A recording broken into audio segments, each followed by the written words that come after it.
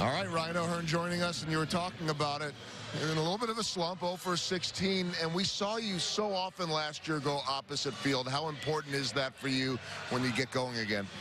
I think for me and my swing, that's everything. Um, you know, it's not that I wasn't trying to go oppo. It just, you know, it wasn't having the feeling or whatever. But, uh, you know, that's baseball. You go through ups and downs. And, um, you know, it's just important to, you know, believe in yourself. And, and you know, every night could be the night that things change. So uh, tonight was good. With that said, th there's quite the allure on the short porch in right field here. So was there an effort to not stay away from it, but stay with your game? Yeah, no doubt. Uh, you know, it's pretty obvious in BP. The ball's flying out of here. So, uh, you know, as soon as uh, the game started, I didn't, I didn't, even look over there. I wasn't thinking about that. So, um, you know, great, great night for us. Great team win. Uh, coming off a tough, you know, battle yesterday. So, uh, you know, tonight was awesome. You guys lose those first couple games in Chicago, but you go back and, you know, and, and you broke the losing streak, and now suddenly you're winning a lot of games. What's going right for you guys collectively?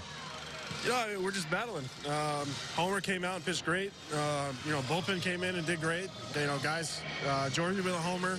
Whit with a big hit. You know, everybody's contributing. So, uh, you know, when a team's clicking like that, you know, we're all having fun, and um, you know, it's a lot of fun to be here and play with these guys. I was telling the story in game of the two hours you spent in New York as a kid. It was interrupted by your home run swing, by the way. How was your second trip to New York? It's been so far better. Little, yeah, the first time was brief, but uh, you know this place is uh, is pretty incredible. So it's cool to be here and um, you know get a big win tonight and uh, you know keep this thing rolling. Great job. We'll see you back tomorrow. Thanks, Joel.